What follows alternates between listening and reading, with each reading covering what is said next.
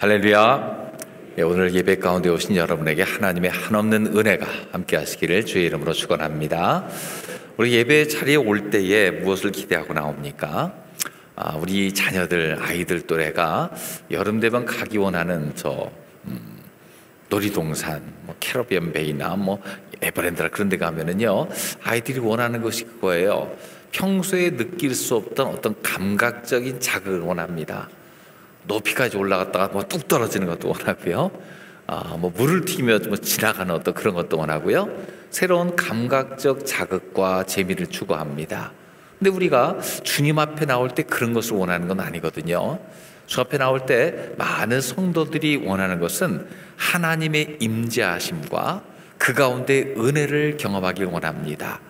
하나님의 영광, 쉐키나라고 하죠. 하나님 영광이 있어서 그 안에서 새로운 영적인 새로움을 경험하기 원합니다. 그러기 위해서는 우리가 하나님의 영광은 늘 계신데 그 영광을 담을 만한 그릇, 하나님의 영광을 경험할 만한 사람으로 준비돼야 됩니다. 또 하나님 영광이 임하는 자리를 마련해야 됩니다. 하나님을 모실 만한 자리, 은혜의 보좌를 말하는 것이 너무나 필요하다는 것이죠. 하나님은 그런 은혜의 자리가 준비된 곳, 하나님의 은혜를 경험할 만한 사람이 있는 곳을 기뻐하시는 줄로 믿습니다. 어떻게 은혜의 보좌를 준비하는 교회 그런 사람이 될 수 있을까? 오늘 말씀을 통해서 함께 나누어 보자 합니다. 자, 우리는 예배 중에 하나님을 깊이 만나는데 그리 익숙하지가 않아요. 아니 어떤 경우에는요 종교적인 의무감으로 오는 경우도 종종 있는 것 같습니다. 그러면 우리가 늘 하던 것처럼 하는 기계적인 종교적 행위가 하나님을 기쁘시게 할까요? 자, 구약 시대에 많은 사람이 제사를 드렸습니다. 정성껏 드렸습니다. 양과 염소와 소를 잡고 그 피를 이렇게 뿌리면서 하나님 앞에 제사를 드렸습니다. 물론 전심으로 드릴 때는 하나님이 기뻐하셨겠지만 나중에 선지자들이 시대 가면은요, 선지자들이 어떤 예언을 하냐면 너희들이 너희들이 드리는 그 피와 기름을 내가 받지를 못하겠다. 제발 드리지 말아라. 아 그럴 때도 있어요. 그냥 형식으로만 드리는 예배면 내가 별로 기뻐 받지를 않는다. 말씀하시는 거죠. 너희들이 전심으로 나와서 하나님의 은혜를 구할 때 그 자리에 나는 임하기를 기뻐하지만 그런 형식 예배는 원치 않는다. 그렇게 말씀하세요.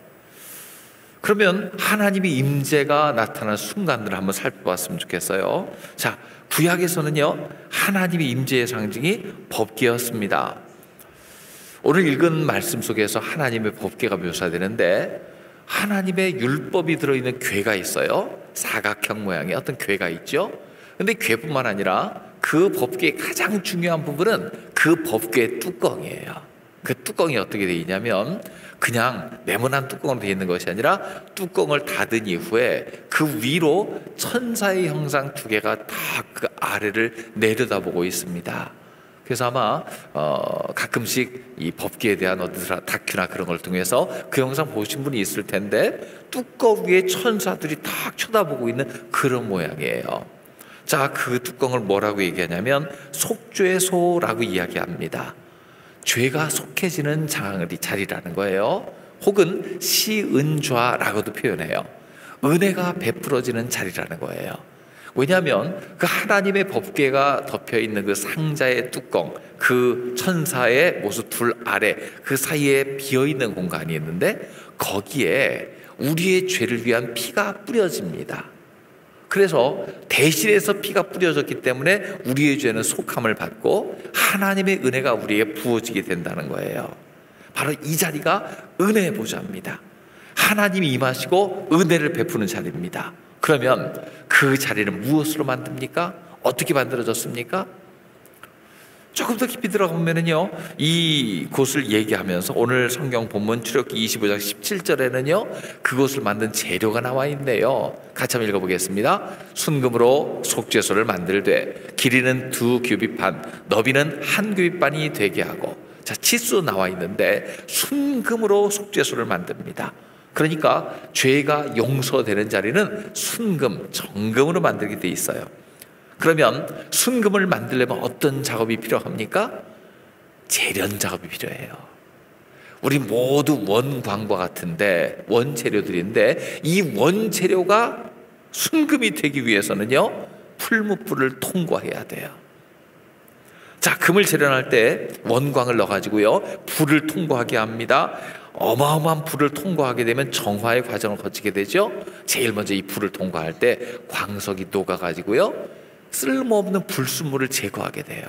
찌꺼기를 제거합니다. 그 과정을 꼭 거칩니다. 금이 금되기 위해서는 불순물을 제거해야 됩니다. 자, 이것을 영적으로 보면 어떻습니까? 우리가 하나님께서 받으시는 은혜의 보좌를 마련하기 위해서 우리가 녹아지고 우리의 죄가 주님 앞에 다 내려지고 버려져야 됨을 의미합니다. 여러분 주님 앞에 나갈 때 우리 가운데 죄와 허물과 불의를 다 버리고 주님께서 주시는 의를 힘입는 우리 모두가 되시길 주의 이름으로 축원합니다. 죄를 회개하여 정결케 되는 것 얼마나 필요하지 몰라요. 그래서 예수 믿는 첫 단계는 바로 이 죄악의 회개입니다. 그럼 회개해서 아 나는 깨끗게 되었으니까 이제 주님이 임하신 자로 쓰임 받을 수 있겠지 그렇게 생각할 수 있습니까? 아닙니다. 더 고도의 과정을 거쳐요. 이물질 이물질을 제거한 이후에 제법 금빛이 나는 물질이 그 앞에 있을 겁니다. 그럼 그것이 끝이 아닙니다. 또 다시 불을 통과해서 더 세밀한 지름 과정을 거칩니다.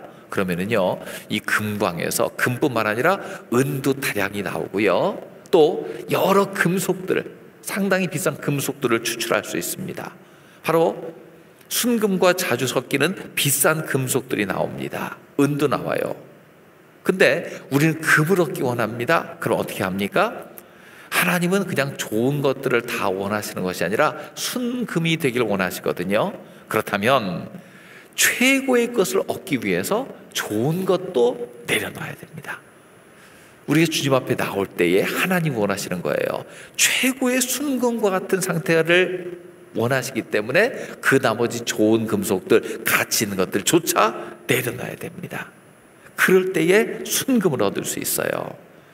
우리는 하나님 앞에 예배 드릴 때에 이런 최고의 정결한 모습이 되시길 주의 이름으로 축원합니다. 죄 용서뿐만 아니라 하나님 앞에서 하나님보다 더 소중히 여기는 모든 것들을 다 내려놔야 돼요. 그런 사람이 하나님의 은혜를 받을 만한 그릇이 될 수 있을 될 수 있는 줄로 믿습니다. 그러면 소재가 정결하게 되었어요. 정말로 반짝반짝 빛나는 순금이 되었어요. 그러면 이 금을 그대로 하나님 앞에 드리느냐? 그렇지 않습니다. 이제 금은 연단 과정을 거쳐요. 오늘 본문의 25장 18절에 보면요. 같이 한번 읽어보겠습니다. 금으로 그릇 둘을 속죄소 두 끝에서 쳐서 만들되. 자, 속죄소 판자가 있습니다. 금을 입히는 상, 그 네모난 형태예요. 그 위에 금을 붙여서 이제 만드는데 쳐서 만든다 이렇게 돼 있어요. 그 뭐냐면 덩어리 두 개를 좌우에 딱 붙인 다음에 그때부터는 망치와 성형 도구를 이용해서 계속 만들어 가는 겁니다. 천사의 형상 그것을 만들어 가는 겁니다. 찍어내는 것이 아니라 주주해내는 것이 아니라 쳐서 모양을 만들어 가는 겁니다. 정결해진 순금이지만 그 순금 자체를 하나님이 원하시는 모양으로 만들어 갑니다.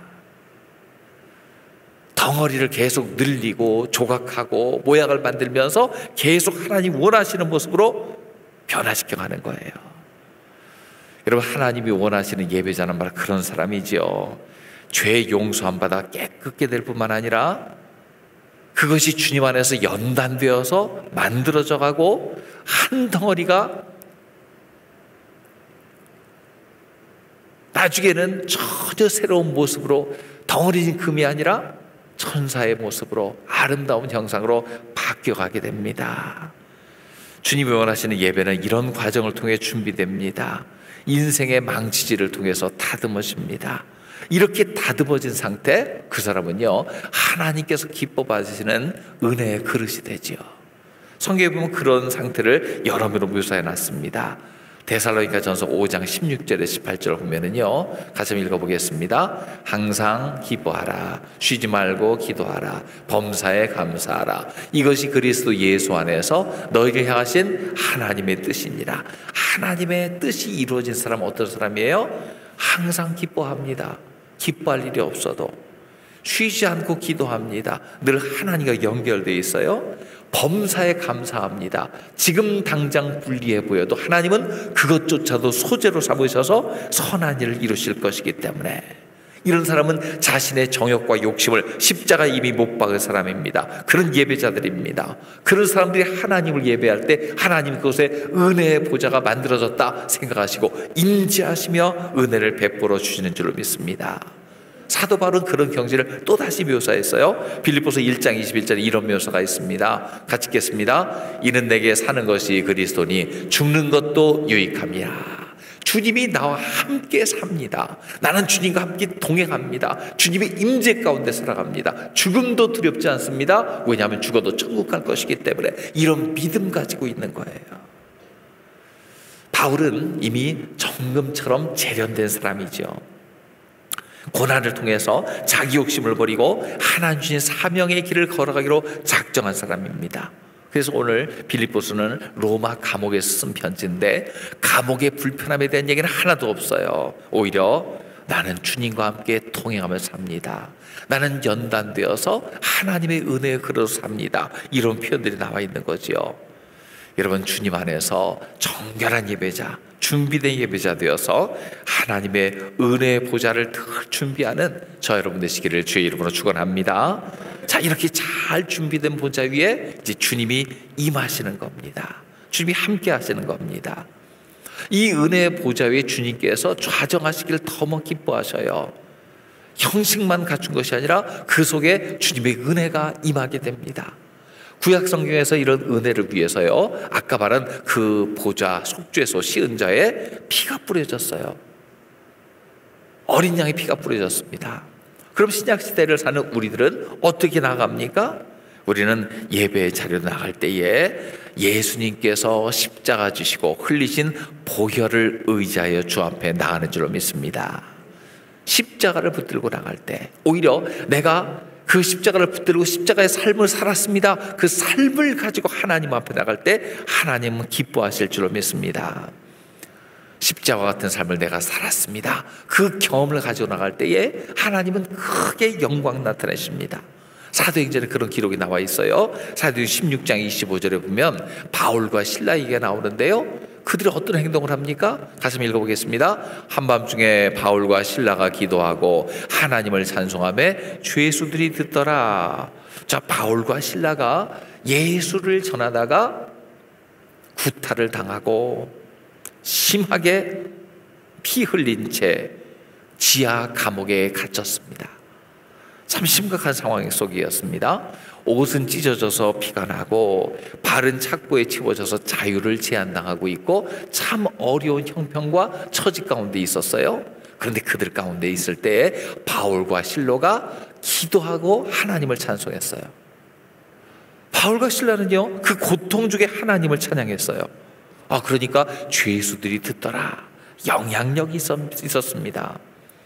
하나님 앞에 경배와 찬양을 드렸습니다. 아까 말한 말씀 항상 기뻐하라 쉬지 말고 기도하라 범사에 감사하라가 그대로 그 삶에 이루어졌죠. 그들은 정금처럼 연단되었습니다. 환경이란 망치질이 그들에게 다가올 때 피하지 않고 맞았습니다. 두 사람이 한 마음 되어 주님을 섬겼습니다. 주님을 찬양합니다. 기도합니다. 이런 사람들은 세상이 감당할 수 없습니다. 우리 현실도 가끔은 이 바울이나 신라 갈 때가 있어요. 현 상황이 감옥 같을 수 있습니다. 예배 드리러 올 때는 그래도 좋은 옷을 입고 준비된 마음으로 이 자리에 왔다 할지라도 내 마음속에 이미 전쟁이 난 사람도 있어요.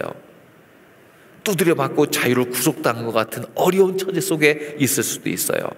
하지만 고난을 이겨낼 최선의 방법은 하나님 앞에 예배 드리는 것인 줄로 믿습니다.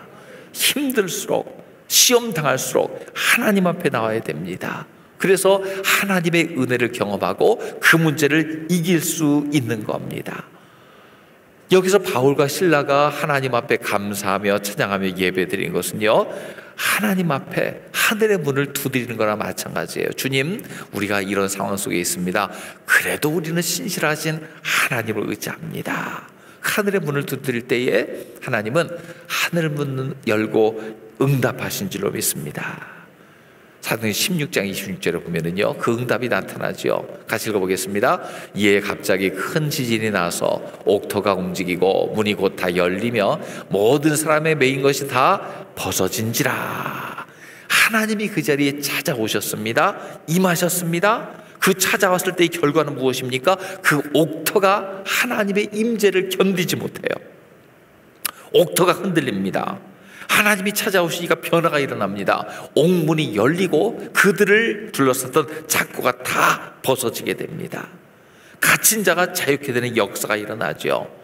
우리도 예수 믿으면서 예수님 때문에 고난당하고 어려움 당했습니까? 여러분 기뻐하고 즐거워하시기 바랍니다. 그, 그 자세 그대로 주 앞에 나올 때 하나님은 하늘문을 여시는 줄로 믿습니다. 예수 믿으면서 겪는 어려움, 예수님 때문에 겪는 고통이 있다면 그것은 마치 언약교 위에 하나님의 은혜를 주시기 위해서 양쪽의 흠을 쳐서 늘리며 모양을 만들어 가는 과정과 같아요. 그런 시련을 통해서 잘 다듬어진 금이 된다면 하나님이 그 가운데 영광 가운데 임하실 줄로 믿으시기 바랍니다.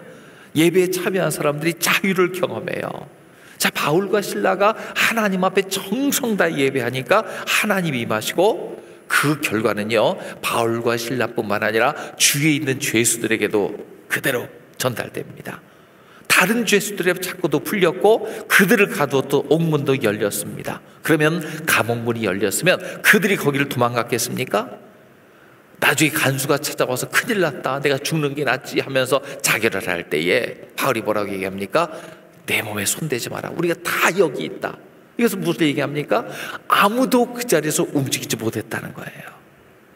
감옥 문이 열렸는데 탈옥을 안 했어요. 왜 그랬습니까? 그곳에 임한 하나님의 영광이 너무 컸고 그 영광 가운데 머물러 있었기 때문에 그래요. 그래서 어떤 분은 여기를 이렇게 표현했어요. 하나님 없는 감옥 밖보다 하나님 계신 감옥 안이 훨씬 좋았기 때문이다. 그렇게 표현을 했어요. 이걸 잘 기억해야 됩니다. 하나님이 없는 자유보다 자유를 어긋당한 처럼 보여도 하나님이 함께 하시는 감옥 안이 훨씬 좋은 줄로 믿습니다. 그 감옥에 갇힌 사람은 지금까지 불평과 원망 가운데서 샀을 거예요. 그런데 바울과 신라가 하나님을 찬양할 때그 찬양의 결과로 자유가 주어지는 걸 보면서 자기도 그 자유를 어느 정도 맛보게 되면서 저 하나님이 어떤 분이신가 아마 눈이 동그래져서 바라봤을 겁니다. 이런 자유를 주는 분이 있고 그 영광 가운데 우리가 마음이 평안하고 참 좋구나 그것을 경험했을 줄로 믿습니다. 여러분 하나님과 함께함이 하나님의 임재 아래 있는 것이 가장 큰 축복인 줄로 믿으시기 바랍니다. 이것을 구약에 있는 수많은 사람이 경험했어요. 하나님의 사람들이 이것을 다 경험했어요. 시편 22편 3절을 보면은요. 이런 시가 나와 있죠. 같이 읽어 봅니다. 이스라엘의 찬송 중에 계시는 주여 주는 거룩하시니이다. 하나님이 우리의 찬송 가운데 임하시고 그분이 거룩하시고 그 영광 가운데 있는 것이 너무나 즐겁습니다. 그런 고백이에요. 마태복 18장 20절에는요 이렇게 얘기하고 있습니다. 같이 읽습니다. 두세 사람이 내 이름으로 모인 곳에는 나도 그들 중에 있느니라. 예수 이름을 부르는 사람들이 있는 곳에 주님의 임재가 더할 줄로 믿습니다. 우리가 하나님 앞에 예배할 때 주님은 찾아오십니다. 그래서 일주일 동안의 모든 고단한 삶 속에서도요, 우리에게 최고의 위로는 하나님 앞에 서는 것입니다. 그 임재 아래 있는 것입니다. 여러분 우리가 주님을 예배할 때 주님이 우리 가운데 찾아오시고 만나 주실 줄로 믿습니다. 잘 준비되어서 내 은혜의 보좌가 잘 준비되어서 하나님이 임하실 때 그 영광을 누구보다도 깊이 누리시기를 주의 이름으로 축원합니다. 그래서 우리가 바라는 바는요 예배의 영광을 체험하고 싶습니다. 그런 거예요. 우리가 그런 영광을 체험하며 살아야 됩니다. 우리가 예수의 이름으로 모여 하나님 바라볼 때 하나님이 찾아오시고 그러는데 잠시 방문하시는 것으로 우리는 만족하면 안 됩니다. 하나님, 우리와 함께 머물러 주세요. 내가 주님의 임재 가운데 살아가게 해주세요. 특히 예배 중엔 더 큰 영광으로 우리에게 나타내 주세요. 하나님을 바라는 마음이 있어야 될 줄로 믿습니다. 성경상의 가장 위대한 인물 중에 하나인 다윗이 바로 그런 사람이었죠. 하나님이 늘 내 곁에 계셨으면 좋겠다. 그런 소원이 있었어요. 그래서 멀리 있는 하나님의 법궤를 수도인 예루살렘 속으로 모시기 위해서 최선을 다했습니다. 법궤를 모셔왔어요. 그럼 모시고 나서 끝나는 것이 아니라 그곳에 주님의 임재가 있도록 하려면 어떻게 해야 될까 생각하다가 그 하나님의 법궤 주변에서 24시간 예배자를 붙였어요. 그래서 그곳에서 예배 불이 꺼지지 않도록 했습니다. 조를 짜갖고요 레위인과 제사장을 중심으로 항상 그 앞에 예배드리고 나팔 소리가 불려지고 그들이 하나님 앞에 예배하는 모습이 들 있게 하였어요. 당시는 성막도 없었습니다. 성막은 실로에 있었어요. 성전은 지어지지도 않을 때입니다. 하나님의 복귀가 휘장 아래 있을 때예요. 그런데 그곳에서 늘 예배가 드려졌기 때문에 하나님 그 예배를 기뻐하셨어요. 하나님의 영광과 임재가 들고 그곳에 있었습니다. 우리는 하나님의 영광에 대해서 성경에서 무엇을 배웠습니까? 하나님이 임하신 곳에 사람은 두려워서 가까이 가지 못해요. 그런데 예루살렘에 하나님의 성막이 있고 늘 예배를 드렸을 때 많은 사람이 가까이 갔습니다. 왜 그렇습니까? 어떻게 가능합니까? 예배로 나올 때의 두려움보다 예배에 임할 때 영광이 더 컸기 때문인 것 같아요. 그곳에서 늘 예배드리는 예배자가 늘 죄악을 위해 중보할 때 죄악이 가리워지고 그들이 마음껏 주님 앞에 나갈 수 있었던 것 같습니다. 에스겔 22장 30절은 이렇게 이야기하고 있죠. 같이 읽어보겠습니다. 이 땅을 위하여 성을 쌓으며 성 무너진 데를 막아서서 나로 하여금 멸하지 못하게 할 사람을 내가 그 가운데서 찾다가 찾지 못하였으므로 여기서 보면은요 찾지 못했다고 했는데 다윗 당시에는요 그런 사람이 많았어요. 그 땅을 위해 성을 쌓고 무너진 데를 막아서는 사람. 그 물리적으로 몸으로 막는 것이 아니라 늘 하나님 앞에 기도하며 영적으로 막아주는 사람. 그 땅을 위해 중보하는 사람. 아, 그런 사람들이 가득 있었기 때문에 그들이 허물과 죄를 덮어주고 있었기 때문에 예루살렘에 가는 것이 두렵지가 않았어요. 여러분, 우리가 하나님 앞에 나와서 늘 기도하며 중보할 때 우리 가정이 편안하게 됨을 믿으시기 바랍니다. 가족 있는 식구들한테 담대히 선포해야 돼요. 그래도 우리 가정이 편하게 사는 것은 내가 기도하기 때문이다.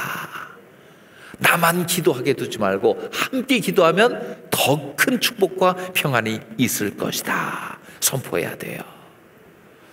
지금도 하나님 앞에 예배를 드릴 때에 모든 죄의 용서함뿐만 아니라 기쁨과 즐거움이 넘칠 줄로 믿습니다. 우리의 예배 차례 나갈 때 무엇을 가지고 나갑니까? 나의 공로와 나의 의가 아니라 예수께서 하신 일을 가지고서 주 앞에 나가죠. 히브리서 7장 25절에 보면 이렇게 나와 있습니다. 같이 읽어보겠습니다. 그러므로 자기를 힘입어 하나님께 나아가는 자들은 온전히 구원하실 수 있으니 이는 그가 항상 살아계셔서 그들을 위하여 간구하심이라. 자기를 힘입어 하나님 앞에 나가는 자. 우리 예배로 나올 때마다 내가 잘했고 내 건데 드리고 이런 게 아니죠. 자기를 힘입어 예수 그리스도께서 우리 죄를 위해서 피 흘리시고 구원하신 예수의 피, 예수의 이름 가지고 주 앞에 나오고요. 그런 자들을 하나님은 온전히 구원하실 뿐만 아니라 살아계셔서 그들과 함께하는 줄로 믿습니다. 예수께서 우리를 위해 피 흘리셨기에 우리는 기쁨으로 하나님 앞에 나갑니다. 여러분 그런 사람들 중 하나님은요 또 다른 사람을 주께로 돌아오게 하십니다.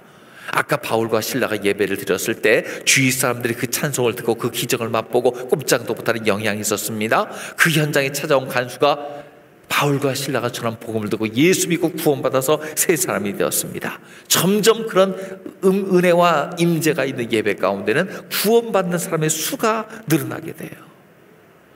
죄인이 의인이 되고 하나님의 은혜 바깥에 있는 자가 은혜 안으로 들어오게 됩니다. 참된 예배자는 하나님과 죄인 사이에 다리가 되어서 구원을 선물해 주는 자가 되는 줄로 믿습니다. 예배 중에 하나님의 영광이 나타나는 것이죠. 그런 예배 가운데 우리가 모이는 예배가 그런 예배 되길 주의 이름으로 축원합니다. 요한복음 1장 14절 말씀 보면은요. 같이 읽어 봅니다. 말씀이 육신이 되어 우리 가운데 거하심에 우리가 그의 영광을 보니 아버지의 독생자의 영광이요 은혜와 진리가 충만하더라. 아까 시작할 때 법계를 보았잖아요. 자, 법계에 보면은요. 그 안에 진리, 말씀이 있어요. 덮은 뚜껑에 예수의 그, 그 어린 양의 피가 뿌려지는 것처럼 거기에 은혜가 있어요. 용서가 있죠. 그런데 이 두 가지가 함께 한 몸에 이루어지는 분이 바로 예수 그리스도인 줄로 믿습니다. 예수님은 하나님의 말씀을 말씀 그대로 사셨습니다. 진리가 있었어요. 예수님께서 자신의 피를 흘려서 온전하지 예수님 자신을 대가로 치르셔서 우리 용서해 주셨습니다. 예수님께 은혜가 있습니다. 그래서 예수님 보니까 은혜와 진리가 충만하신 분이에요. 우리 예배 자리에서 바로 예수 그리스도를 바라봅니다. 우린 죄 때문에 죽어 마땅한 존재지만 하나님 영광 이르지 못했을 존재지만 예수께서 피 흘려서 우리를 구원해 준 줄로 믿습니다. 또한 예수님께서 은혜를 바라봅니다. 진리가 그 안에서 이루어지고 은혜가 그 안에서 이루어지는 것을 바라봅니다. 하나님 말씀에 의하면 주 앞에 가까이 나가지 못할 존재인데 예수님께서 피 흘려주셨기 때문에 우리는 하나님의 영광 이르게 됩니다. 멸망이 아니라 영생의 선물을 받게 됩니다. 예수님은 어떤 사람들로 인해 이 땅에 오십니까? 바로 예배하는 자들로 인해서 이 땅에 임하기를 즐거워하시는 줄로 믿습니다. 아까도 두세 사람이 내 이름으로 모인 곳에 나도 그들 가운데 함께 한다고 하셨는데 우리도 늘 주님의 이름으로 모여서 하나님을 예배함으로 말미암아 하나님이 우리 가운데 늘 은혜 주시며 영광을 베푸시는 것을 경험하는 하나님의 사람이 될 줄로 믿습니다. 구원받은 자가 더해지는 부흥이 일어날 줄로 믿습니다. 내가 먼저 준비된 예배자가 되고 은혜의 보좌를 세우는 자가 되어서 하나님이 베푸실 부흥에 그 부흥을 이루는 하나님의 사람들로 귀하게 쓰임 받으시기를 주의 이름으로 축원합니다. 기도하겠습니다.